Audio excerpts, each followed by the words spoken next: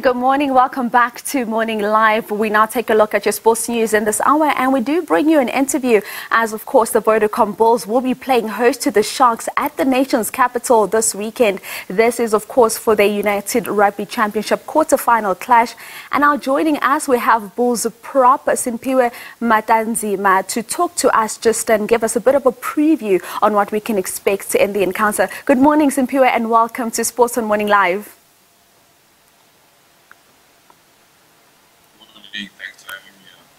You're very welcome. Now, Simphiwe, let's talk about how a lot has changed since you arrived at the Bulls. Um, now, you were blowing hot and cold for some time until Coach Jake White arrived. Now, what would you say he has brought to the team?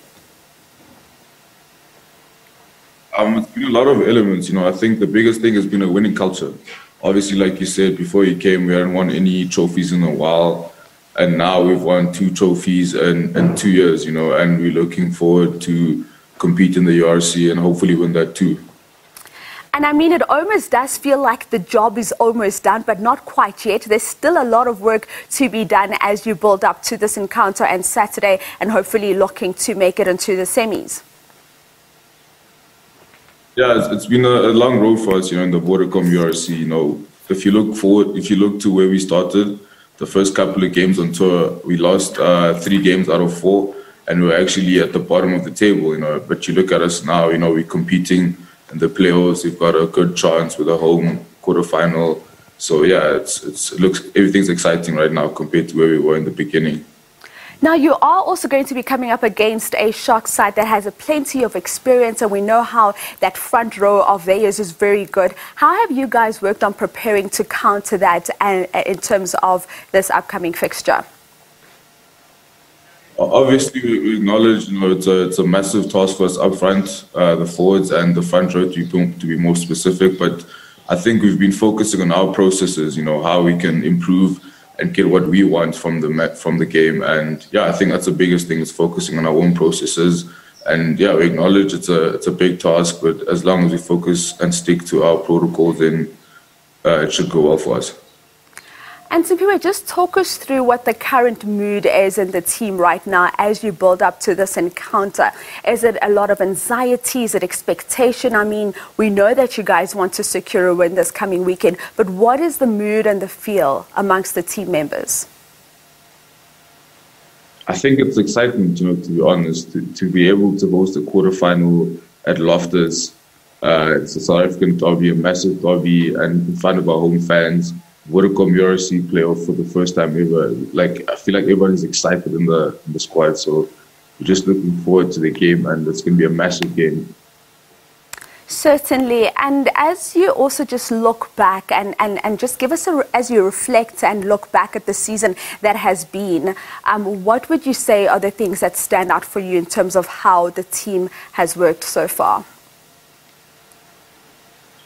think the biggest thing is resilience, you know. Like I alluded to earlier, we, we didn't start off well, you know.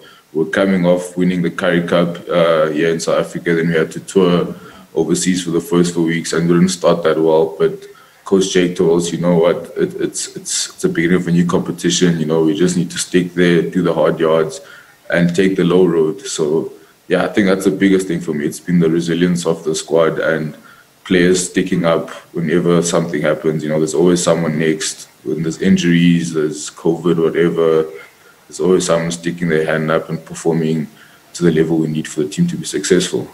And as you speak about that resilience, let's also talk about leadership, which is very crucial for any team to be successful. Now, we've seen how both um, Lizo and Masa have done a decent job on the field, but what about the leadership off the field, especially for those who are new to the team?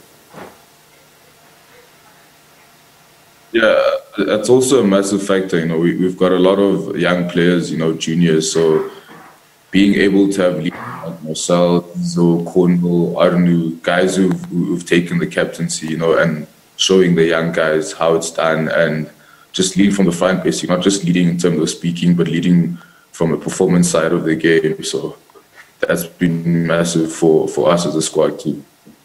Certainly. And as I wrap up with you, Simphiwe, we know that youth weeks are fast approaching and some young men will be beginning their rugby careers and parents are deciding where their kids will play their rugby. What are the do's and the things that you try to avoid when making this crucial decision? Uh, I think as, as a young rugby player, you know, in South Africa right now, you just you just want to have fun first of all. You know, enjoy the rugby then if, if an opportunity comes, you know, to go further your rugby somewhere else, I think you just choose the place where, first of all, you need to like like the union and you know respect the traditions and heritage that comes with it, but also an opportunity where you feel like you can thrive, where the union plays like a similar game that you like, or where you feel like you might fit in best in terms of your game. So I think that's just some of the decisions you need to make. Obviously, there's a lot more, but I just think that's the basis of it. Thank you so much for your time here this morning and good luck for that quarterfinal clash against the Sharks this weekend. Thank you. Thanks for having me. I really appreciate it. Thank you.